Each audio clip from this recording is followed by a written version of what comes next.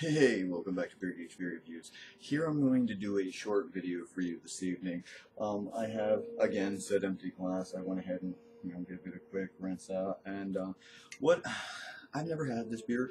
I have liked many of beers from the Sixpoint Brewing Company um, out of New York. And um, I've been looking for this one for a while. This one is not a common beer around here in my neck of the area. Um, but uh, without further ado, let me introduce you to the Crisp.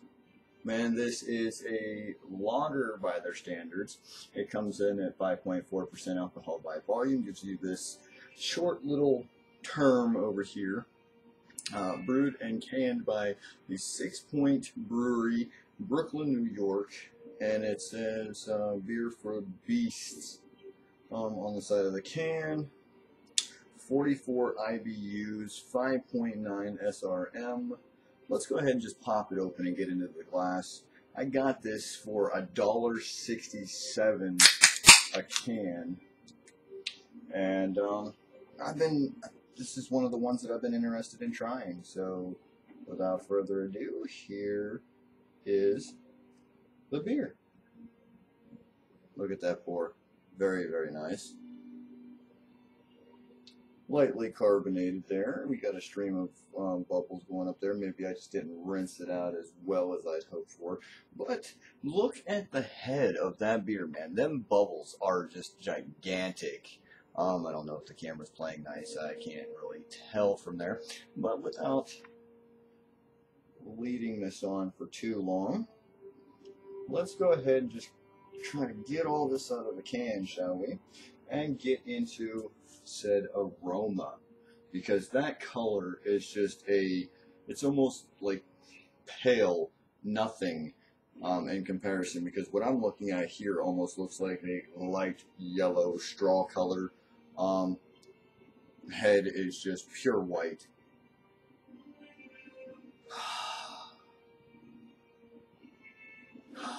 I mean this is just a standard beer in my opinion just by, by the aroma and what I mean by standard beer, I want to say standard in the craft beer sense, only because of the fact that I am getting a abundance of uh, lightly, you know, a, a, very light malt body presence and light hop.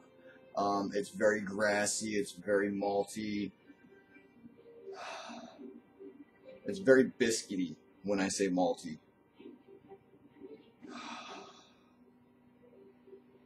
Ah, uh, that's just that. That is just a, a lovely smelling beer. Um, I, am very thirsty, so I'm gonna get up in this.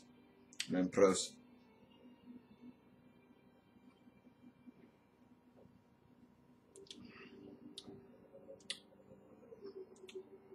Oh yeah.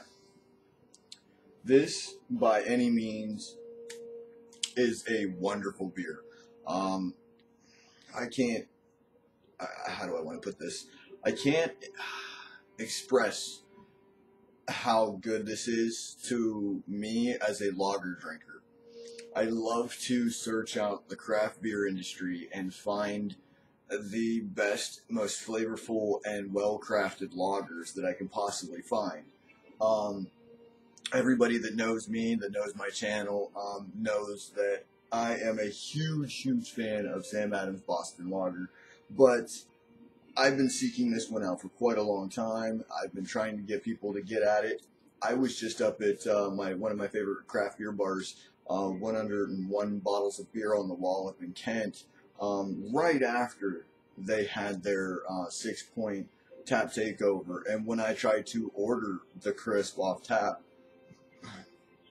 they were having problems with the line. And they were like, you know, it's going to be shut down for quite a while until we get the lines fixed. And I'm like, oh so, you know, to my dismay, I still didn't get to have it off tap. But when I seen a, a single can, um, when I went out to Red Wine and Brew to meet my good buddy Dave, um, I, I, couldn't pass up the opportunity. Uh, I should have gotten a couple of their other beers that I have not had in can. Um, but uh, this is just, it's really good. It's really flavorful. Mm. You got that just that wonderful malt body. and it's very lightly hopped. You got like a little bit of a grassy back note with very little bitterness. Um, this will also help people to understand um, what they mean by the IBUs because people look at the IBUs, especially if they're a hophead, and they're like, "Oh my God, man, we want 100 IBUs, we want 102 IBUs, or 120 IBUs, or even a thousand IBUs." Um, but in the sense of lagers, uh, in my opinion, I tend to like the more maltier lagers. I don't want my lager to be very hoppy. If I wanted a hoppy pale ale, man, what else would I be going for? Or at least like a Noble Pils. Um, but at the same time, this has that real light biscuity, you know, tones to it, kind of like a two row pale malt blend and it seems to be hopped with uh, uh, one of the noble hops in, in my.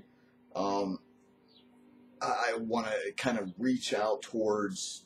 Um, oh, what do I want to go with for this? I, I kind of want to lean towards. Oh, which one is it? Oh. Oh, let me grab a bottle real quick because I have tasted a couple of these hops before. Um, I have. Let's go ahead and shoot out, man, maybe the um, Hallertau Fruit, the East Kent Goldings.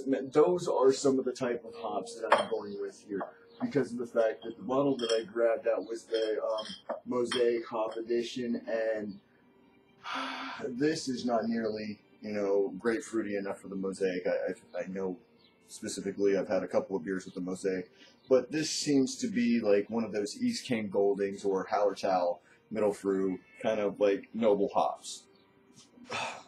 When you, when you get into the noble hops, I, I'm trying to cut this short, but it's very light, very grassy, very you know just a little bit of citrus characteristics, very very low on the uh, resin kind of uh, taste from the um, the lupulin glands and also when, when, when you get into that, you want to put them in uh, pilsners, you want to put them in light lagers. You, you know, I, I would not consider this a light lager by any means, coming in at 5.4% alcohol by volume.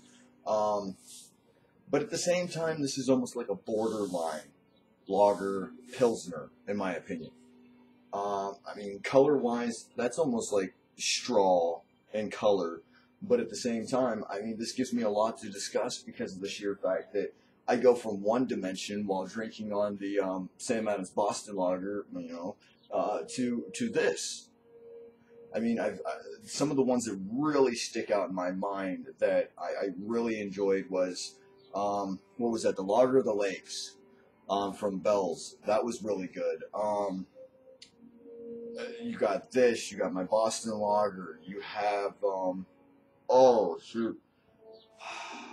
There, there's been so many. I, I just I can't. They're on on the tip of my tongue, but I just can't all blurt them all out as that fast. Um, but again, sorry for taking up all this time. Uh, if you've had this, man, let me know your feelings, your thoughts, your taste buds, and, and whatnot. You know, on this beer because this has been my first time having it, and I enjoy it. You know, it, it wouldn't be nothing for me to go up and pick up. Uh, man, like two or three packs of these as they come in. I, I believe four packs. Um, but I really enjoyed it. You know, let me know what you guys think, man. I'm about to sit out and play a few video games, man. Peace, pros, deuce, and as always, man, drink amazing, great craft beers.